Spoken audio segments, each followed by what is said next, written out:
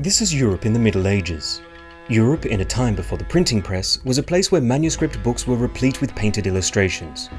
If you look closely at the illuminations in such books, you'll find countless animals. And not just any old animals.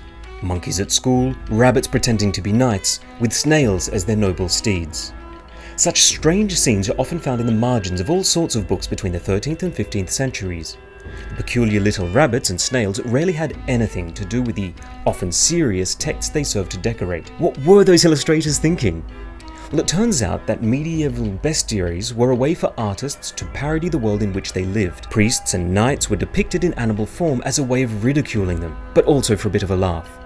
In fact, the Middle Ages, such illuminations were also known as drolleries, and some say they may have even inspired a cult classic from the 70s, Monty Python and the Holy Grail, a band of bumbling knights are attacked by a bloodthirsty bunny.